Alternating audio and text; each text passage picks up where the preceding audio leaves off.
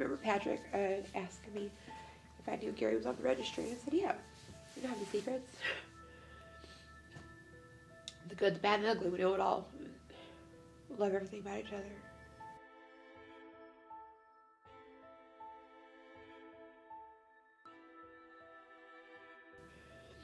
And um,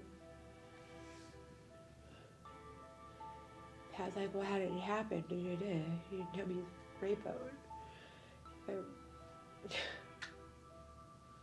I told them, you know, Gary and his girlfriend got having sex. They're both underage. And like I said before, when you're on the registry, you're on the registry.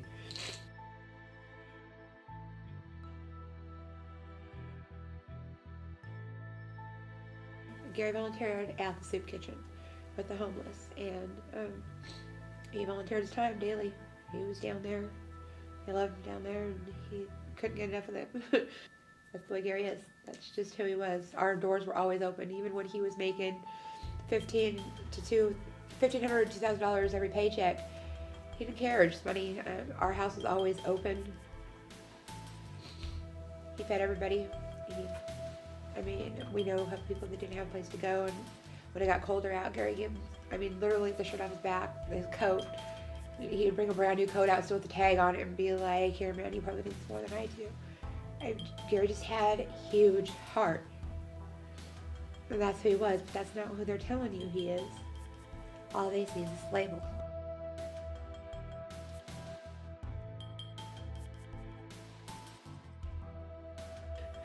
Derek, you know, he shot my husband 15 times and Gary was still alive calling for help, dialing 911 and conveniently they couldn't find a sex offender who was calling for help. They never, nobody came to his rescue.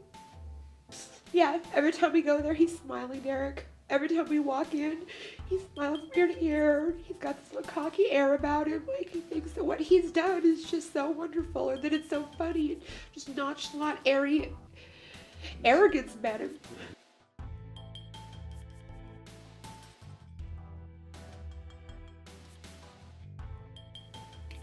Trying to explain to my kids, everybody's like, "Oh, Pat's such a hero. He killed these sex offenders. He, he's the hero of children." He's not a hero of children. If that's the case, I wish you could have seen the look on my baby's face when they had something goodbye to their daddy.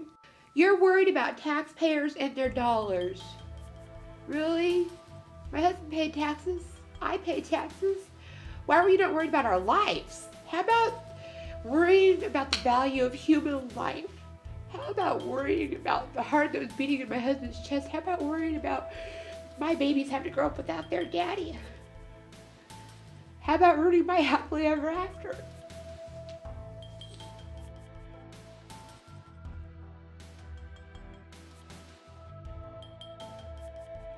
Did you see what they said? Did you see? They're, everybody's so quick to be like, oh, what, what a horrible person. Did you see the label they've got, sex offender label?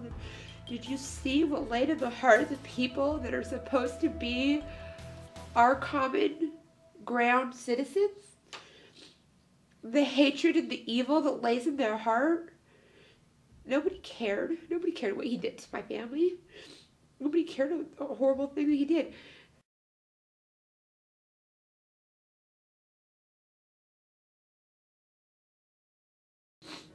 If somebody doesn't like me because I'm married to a sex offender, somebody doesn't like my husband for being a sex offender, it does not make it okay for them to dehumanize me or my husband or my children and make it so that it's okay to just snuff us out like we never mattered.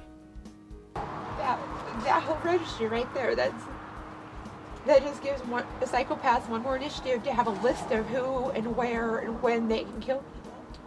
That's not even just like a snap case. That's that's pure hatred. Just for years and years to have that seated in your heart and know that you're planning something through like that. To see a family grow and blossom and develop and know that you're just going to take them and destroy it.